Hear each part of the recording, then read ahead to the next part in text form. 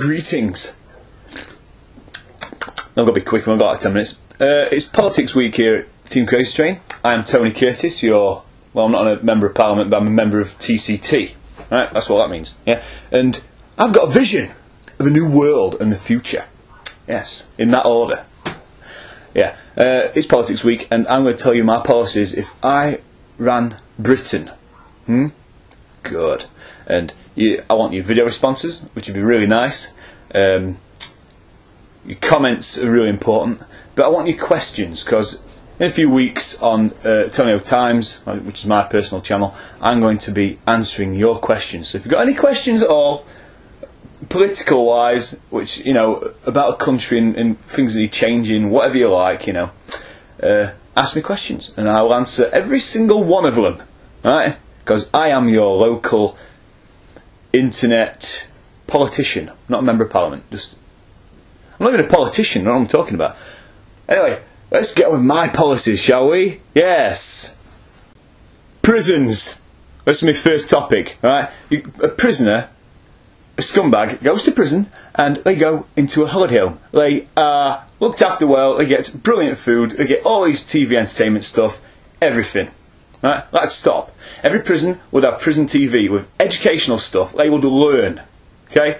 Uh, the prison cells wouldn't have all this cushy crap in it, and the food, they wouldn't get highly expensive food as they do and well treated in that respect. Humanitarians, I don't care. Right? A prisoner is a prisoner for a reason. Right? And prisons are not prisons, reality camps, and that's got to change. So I would change that, and a prison would become a prison again. And also, if you went to prison for eight years, okay, I know like eight years of prison at the moment, you know, we get good behaviour, come out in four, they've murdered someone, and they've got like an, you know, the victims got an entire family who are going to be upset for the rest of their lives and never forget it. These prisoners don't care. They get out on good behaviour, and it's disgusting. Eight years would mean eight years, okay? and prison would mean prison. Holiday over. One of the things disgusting everyone at the moment is uh, members of parliament, you know, claiming for a coffee cup or a light bulb and stuff like that, which they can pay for them themselves, and it's true. Uh, so, you know, all that, this expenses thing would it, it, wouldn't stop because yes, members of parliament have to travel to London and stuff uh, to do a job and look after their districts and that. Fair enough, right? But homes, thousands of pounds on, on members of parliament's homes. What? People who go to university have dorms, right? So there would be a dorm for the members of parliament, or we can get hotels and claim experiences on that. That is what would happen. There'd be no expensive houses, which you know the normal people can't afford, and they get two, and they get given them. I don't agree. They know what they're getting themselves into, you know, members of parliament, because you know they get given everything. I'd have to stop if we really care about a job, yeah, and it is a good job. They would do and accept less for it. I mean, I get a few hundred a, week, and I have to survive, so you know, why can't they? And on a lot of money. So, personally, it's disgusting. So that'd really be looked into and stopped. And there would be a member of parliament dorm. I think that's a, a way to go. You know, not just this country, but the world have had centuries to learn on how to make laws perfect around, you know, all around the world, not just Britain. Um, but we haven't learned a thing. You know, we keep changing laws all the time. Uh, which don't make sense. Right, I'll get to the cigarette thing in a minute. But one of the things I like to change is the law of laws. Okay, uh, change. You know, we say, "Oh, we're going to change this law next year." Right? It's going to take like 14 months before I can do it. Why? Why does it take so long? Stop debating. It's an obvious law. You don't need to take so long about it. You can change the law within two weeks if you wanted to. That's what I'd do. I'd make it so if you want to make a new law, on uh, some stupidest things in this country, and a lot of them are out of date, you've got to admit, they'd be changed within two weeks. No, no good waiting over a year. That's a long time. It's too long. Get it done within a, a month at least, you know? So I'd do that. That's what I'd do. I'd change the law of laws, and nobody'd stop me with it either. My laws, my rules, and they're good too, aren't they, so far? Oh dear, where did it go wrong? I was looking forward to it as well as many other people, yeah, with cigarette laws. I think other people that were upset about it were people that, you know, smoked heavily. But we got it wrong. And it didn't make sense when the law came in. I think someone signed a piece of paper and said, let's change this law, and they got it completely wrong and didn't know what they were doing.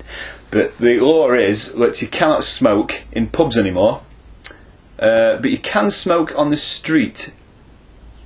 Okay. You know, when there's pubs closing because people can't smoke in there and stuff. Um, why don't you reverse it? Well, this is what I'd do. I'd ban smoking on the streets because after I don't smoke and I go down uh, into town and there's people smoking all over the place. I don't want to breathe that in. You're on the street. I don't. Want, I don't need it. Okay.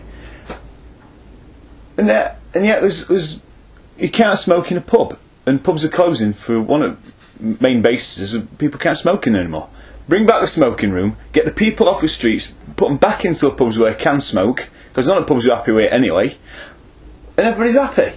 At the moment, nobody's happy. It makes no sense. So that law would change straight away. Right, I am running out of time, so I've got to be quick. Uh, my policies on immigrants and the Gurkhas, I think it's disgusting the way we've been treating the Gurkhas. Like, uh, you know, a Gurkha dies fighting with us in Afghanistan, and then next day his wife and two children say, "You've got to leave the country. You don't belong here anymore." Right?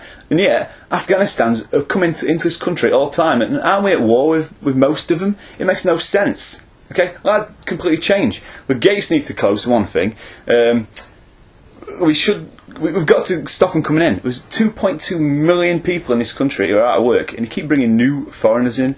It makes no sense. They get given money, they get given housing, and yet there's British people who are homeless and want to get back on their feet, and government won't help them. It makes no sense whatsoever. So that'd change for a start. And British citizenship, okay, British citizenship that completely change. It wouldn't be seven years, whatever, knowing a little bit of history. It'd be 15 to 20 years, and it, the test would be conversation, and it'd be strong as well. Okay, and they'd be tested every year. Of them don't belong here. I know a few people that are from Poland uh, that cannot speak English, and yet they've been here for years, and it makes no sense. Okay, uh, it's famous these people from the Middle East. Uh, they come here wearing veils and stuff.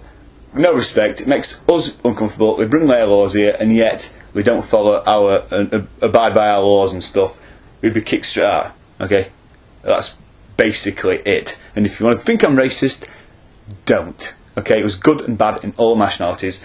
Unfortunately, we seem to accept a lot of bad people from other countries. Um, I'm running out of time, so I'm going to just jump on over a few other little things before I end this video. Okay. Right, I am seriously running out of time in this video, so I'm going to go through these little bits quick. Um, I'll, I'll, make more time for Maternal Times questions and answers video on that, alright? Uh, schools, we just say that education is a, an aspect I've got to talk about, but for one thing, teachers, they're not role models, and I think kids don't learn enough because the teachers aren't role models. They need to be retrained and thought, think about what they're doing. Uh, youth, there needs to be a curfew for, like, you know, stop chavs going out the streets and that. ASBOs aren't enough. They're like awards from for breaking law, and that's true. Um, there's all sorts of things I've got to talk about still. Referendums, you know, people should vote on all sorts of things. I mean, you know, it does affect us and that. Uh, things like Europe and even, you know, uh, what shops actually going to be bloody brought into town. um, what else? Quick, quick, quick. I've got so many things to say. It's it's unbelievable, and I've probably wasted enough time and not been quick enough. But I think I'll actually you know, one more thing: stop habit, stop habit voting, and think, oh, I'm going to vote uh, Conservative or Labour just because I do. Look at the policies and vote for the right people. And John Mann MP rules. He's a man. He's got damn good policies, and he if he run the country, I think we'd be all right. Okay, so that's my politics video. Um, remember, video sponsors, comments, and I want plenty of questions from this. Right? There's loads of stuff I ain't covered. So yeah, thanks for watching. Peace out.